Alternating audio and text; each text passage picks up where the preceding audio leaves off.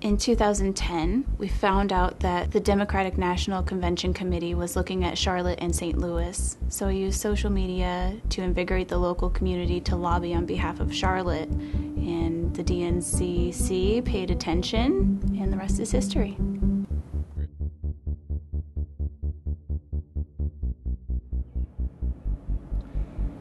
Some of us blog for big media, some of us work for ourselves, and some of us do it just for um, the sake of taking part of the conversation, or for the love of sharing and taking part. Yeah.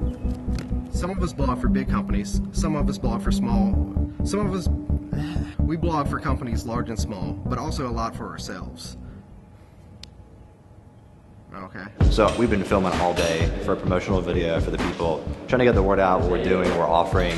We want to create space and resources for all the bloggers and independent media visiting the city that won't have official accommodations given to them by the DNC in the convention center, in the arena, whatever else.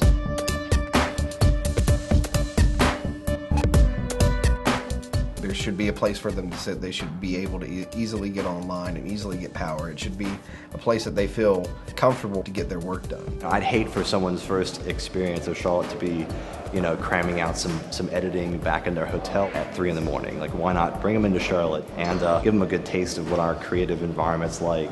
It's necessary that we accommodate unaccredited media because it's a rising population of people who have a very loud listened to voice. So, making sure that that collective voice has everything they need to say what they need to say is quite necessary.